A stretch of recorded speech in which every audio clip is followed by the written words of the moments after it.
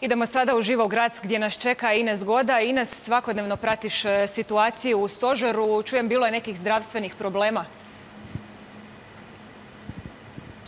Da, izbornik Lino Červar danas nas je zabrinuo kada je objavio da je Josip Šarac poslan na magnetsku rezonancu nakon što je u jučerašnjoj utakmici protiv Bjelorusije nezgodno pao na koljeno. Na sreću neizvjesnost nije dugo trajala, Šarac je obavio liječnički pregled i pokazalo se kako koljeno nije nastradalo te da će Šarac moći nastaviti svoj nastup na europskom prvenstvu. Cijela momčad današnji dan iskoristila je za jako potrebnu regeneraciju.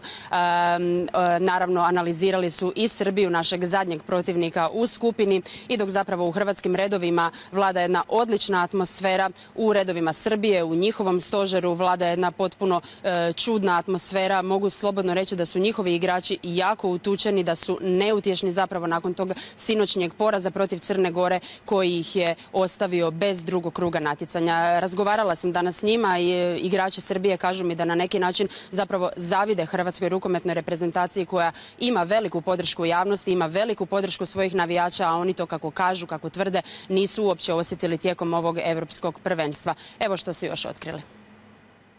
Prosto imamo, imamo sutra utakmicu protivnika koji je jedan od glavnih favorita uvek u zadnjih 20 godina.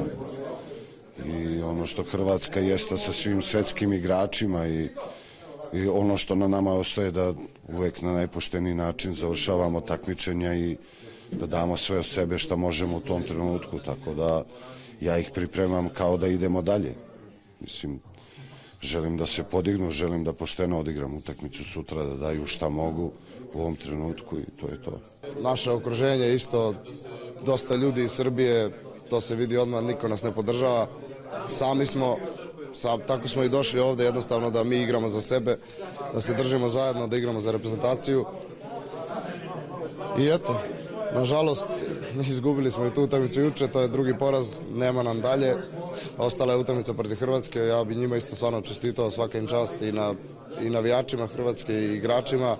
Zaslužili su stvarno i mislim to je jedna sjajna atmosfera stvarno kad se uđe u halu kao da se igra u Hrvatskoj.